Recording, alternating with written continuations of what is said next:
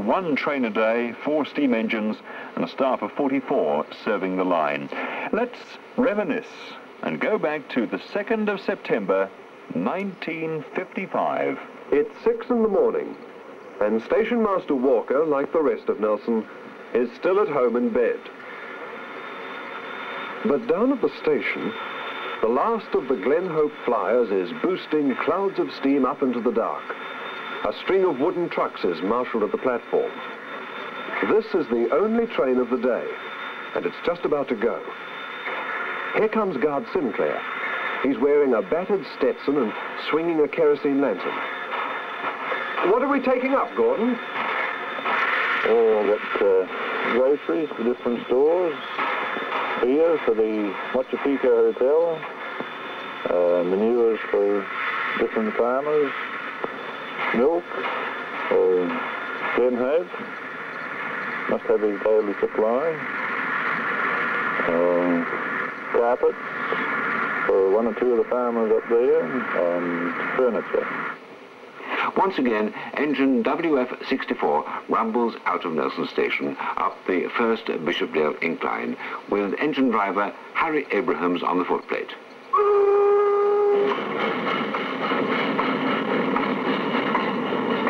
Run your electric engines, and I run your diesel engines, and I said, I run your steam engines, and I'm telling you now, the day's going to come when the old steam will come back again.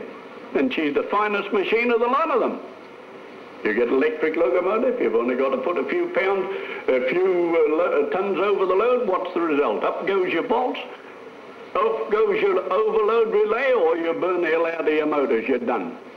Old steam engines here are running for 50 years, 60 years, and they still do as good a job as the day they were built. Down the Hope and onto the Buller towards the end of the journey. A journey nearly always without incident. But Harry Abrahams remembers it best for the day he lost himself in the typical Hope saddle fog. Nearly lost his train, too. We started on the downhill grade after pulling up through the, the mountains and we were running for Glenhope. And it's a very difficult thing when you get down in the valley there to be able to tell where you are. And when we crossed the river, I generally used to get my bearings from there. And I said to Tom, I said, do you know where we are, Tom? He said, no. And I began to get a little bit uneasy, you see, because uh, I didn't exactly know where we were. When, you go down there with a blanket fog about it, uh, you didn't, you couldn't tell where you was. It was pitch dark, and the old light that we had, it didn't, it didn't show much, and you couldn't tell where you were. I got a little bit uneasy as I couldn't pick myself up. And so uh, I was on the alert, and all of a sudden, round the corner we come right in view of Glenhope lights. I said to Tom, by Jove, Tom, I said, we're heading for the ballast pit, I said. And we were going far too fast uh, in that position for the brakes at my command.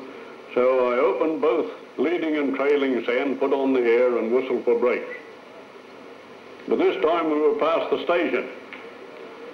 And just then, by the grace of God, I see uh, Baker, the station master, streaking for the handbrakes. And he got them down. Tom said to me, my mate, he said, uh, how far now, Caesar? I said, about 50 yards, Tom.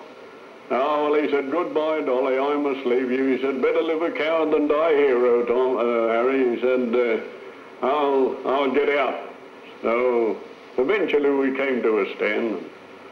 I took a few deep breaths and got down off the engine, and looked look around. All 397's nose were just over the ballast pit. Pretty close call.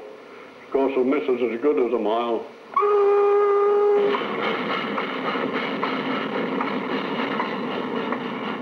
After 80 years, Nelson had lost its train.